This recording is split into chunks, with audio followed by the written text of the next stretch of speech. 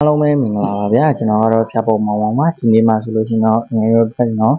စက်သားတုပ်ပေါ့နော်စက်သားတုပ်လောကိုရိုးရှင်းတဲ့စက်သားတုပ်ကိုကျွန်တော်တရုတ်စတိုင်လေး၃နည်းလေးကိုမျှဝေပေးပါမှာပါဗျာ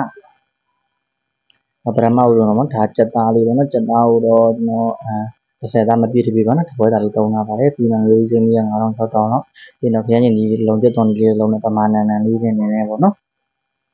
ပထမဦးဆုံးစက်သားလေးကိုကျွန်တော် slide ပြားလေးဆွဲပါမယ်ဗျာ လိုက်ပြားလေးဆွဲဖို့တော့ခုလိုမျိုးပေါ့နော်အကြမ်းမြင်အပြားလေးရှင်ပြပါမယ်ဗျာပြီးရင်တော့ကျွန်တော်တို့အာအသေးစားဆလိုက်ပြားလေးပေါ့နော်အပြားလေးဆွဲပါမယ်ဗျာကိုအစင်ပြေနော်အတုံးလေးလုပ်ပြီးတုပ်လဲရပါတယ်ဗျာအတုံးလေးဆိုရင်တော့ကြက်တာနည်းနည်းကြာပါမယ်ဗျာအခုလိုမျိုးလေးပြားလေးလုပ်မယ်ဆိုရင်နော်ကြက်တာနည်းနည်းမြန်ပါမယ်ဗျာ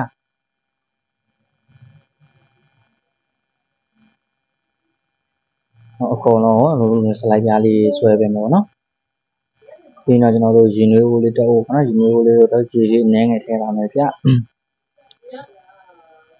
ရေနည်းငယ်ထည့်ပြီးတော့နောက်ကနာအာအတင်ပြင်ထားတဲ့အသားလေးပေါ့နော်ပါလေးလိထားတဲ့စက်သားလေးပါဗျစက်သားလေးတွေကိုရင်နွေးဦးလေးတော့ထည့်ပါမယ်ဗျပြီးတော့ကျွန်တော်တို့ဘေးကိုမကတ်သွားအောင်ပေါ့နော်။ဆောင်းလေးနဲ့အသားလေးမိထားပေးပါမယ်ဗျ။ ကြက်သားလေးကိုနည်းနည်းရေလေးစုလာပြီးကြက်သားလေးနည်းနည်းလေးကြက်သွားအောင်ခဏဆောင်ပါမယ်ဗျကြက်သားကတော့တိတ်ပြီးတော့မကြဘူးပေါ့နော်ဝက်သားလေးလောက်တော့တိတ်တော့မကြပါဘူးဗျတုတ်ကတော့နည်းနည်းမြန်ပါတယ်ဗျတုတ်ကအလည်းလွယ်ပါတယ်ဗျ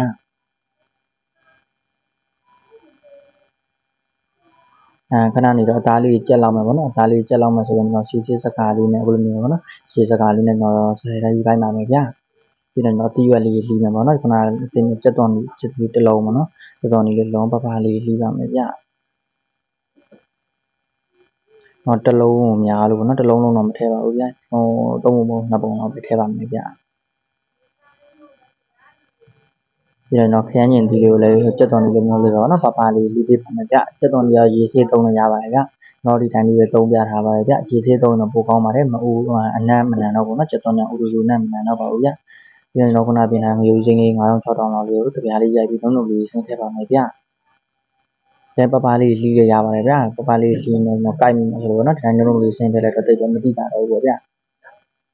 ဒီလိုစလုံးလွတ်လေးတစ်လုံးထဲမှာပေါ့နော်ထည့်ပြီးတော့ခုနစက်သားလေးပေါ့နော်ပမာနန်နန်လေးကိုလည်းနန်နန်မောက်လေးပဲတီးထည့်ထားပါတယ်ဗျာပြီးတော့ချုံမုံလေးအနည်းငယ်ပေါ့နော်အာအများကြီးတော့မထည့်ပါဘူးပြီးတော့စက်သားမုံလေးကတော့အနည်းငယ်ပဲထည့်ပါတယ်ဗျာနည်းနည်းလေးဆိုရပါနော်မထည့်လည်းရပါတယ်ဗျာပြီးတော့ ACT ရှောက်ရည်ပါခင်ဗျာကျွန်တော် ACT ရှောက်ရည်လေးထမင်းစားဆုံးနဲ့တစ်စုံထည့်မယ်ပေါ့နော် ပြီးတော့ကျွန်တော်ပစွန်တန်းငံပြားကြီးလေးလက်ထမင်းဆောင်နဲ့တစွန်ထည့်ပါမယ်ဗျပြီးတော့ကာလာစီပါဗျကာလာစီချက်နေပြီးတော့အောက်ကဖူဖူလေးထဲမှာတင်ပြီးသားလေးရှိပါတယ်ဗျကာလာစီလေးတစ်စုံပါနော်ဒါတော့မွေးပဲချက်မှောင်လေးပါဗျမွေးပဲချက်မှောင်လေးအနည်းငယ်ထည့်ပါမယ်ဗျစီစီပိုင်ပိုင်လေးဖြစ်သွားအောင်ပေါ့နော်ဟိုမထည့်လဲရရပါတယ်ဒါပေမဲ့စီစီပိုင်ပိုင်လေးစားလို့ရအောင်ကျွန်တော်မွေးပဲချက်မှောင်လေးကိုထည့်ပြီးတုပ်ထားပါတယ်ဗျကျွန်တော်တို့စလုံးထဲမှာပေါ့နော်ဟိုဘက်ဒီဘက်လေးကိုနှောင်လေးနေပေးပါဗျေ ချာလေးနေပေးပါဗျကြက်သွန်လေးအဲလက်လေးနဲ့ဒါလေးချီပြီးပါဗျကြက်သွန်ဒါလေးရေစီးထားလေးရရပါတော့တော့ရေမစေးပါဘူးဒီတိုင်းလေးပဲတုတ်ထားပါဗျအဲ့တော့ကိုကြံနေကိုရေစေးတုံးလည်းရပါတယ်ဗျကိုဆိုရင်တော့လွယ်ကူရိုးရှင်းတဲ့ကြက်သားတုံးလေးရပါတယ်ဗျဒါတော့လွယ်ကူရိုးရှင်းတဲ့နီလန်လေးပါတခြားနီလန်တွေလည်းရှိနိုင်ပါတယ်ဒါတော့ကျွန်တော်ပြီးတဲ့ကျွန်တော်တုတ်နေတဲ့လက်ရှိဆိုင်မှာတုံးနေတဲ့အဲပုံစံနီလန်လေးကိုကျွန်တော်ပြန်လဲမျှဝေပေးတာပါဗျအရင်ကလွယ်ကူရိုးရှင်းပြီးတော့စားလို့လည်းရမ်းမိုက်ပါတယ်ဗျ ဟုတ်ကဲ့ပါဗျာကျေးဇူးတင်ပါတယ်ဗျာ